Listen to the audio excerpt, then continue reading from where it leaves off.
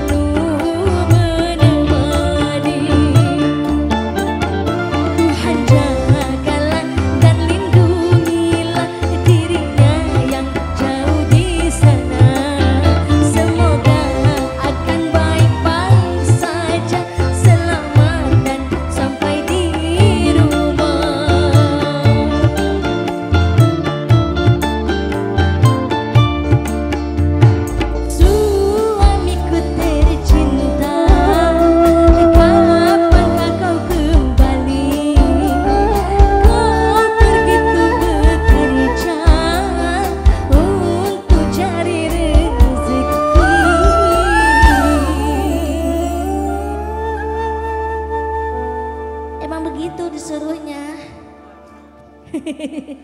Agak-agak gimana gitu.